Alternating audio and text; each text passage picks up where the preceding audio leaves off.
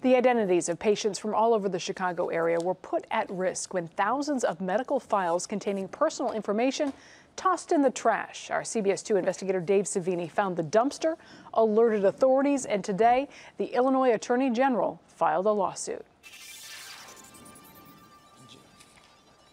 That could result in millions of dollars in fines. Dave Savini has the story. What we found in this garbage dumpster has led to a consumer fraud lawsuit against Filefax, a Northbrook based company. So they've completely violated the law. They've completely violated people's trust, and we want to hold them accountable for that. Illinois Attorney General Lisa Madigan took swift action, filing the suit today against Filefax. The case details how CBS 2 uncovered the dumpster. Medical, financial, and other personal records just tossed in the trash. I couldn't believe that somebody did that. And I was happy that you got the file and not some, you know, random person who would have taken advantage of us. Diane Scarpelli's records were in that dumpster too.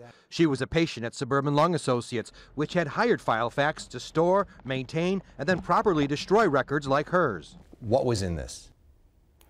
Uh, my driver's license, my social security number, my husband's social security number was in there, uh, where I live, my phone number, my uh, insurance cards. In February, CBS 2 exposed multiple days of this dumpster being filled with records.